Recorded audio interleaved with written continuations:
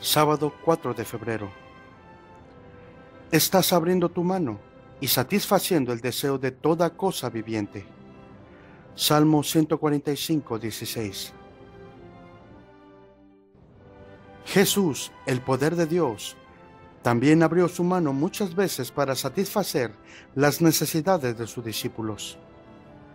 No lo hizo simplemente para demostrar que tenía poder, sino porque se preocupaba de verdad por ellos.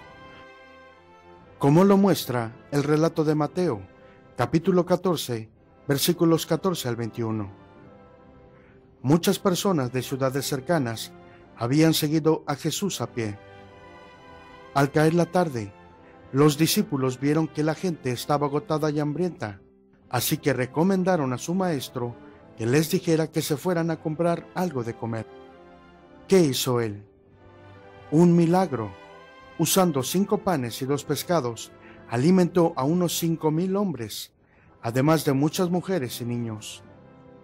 El relato dice que todos comieron y quedaron satisfechos. De hecho, sobraron doce cestas llenas.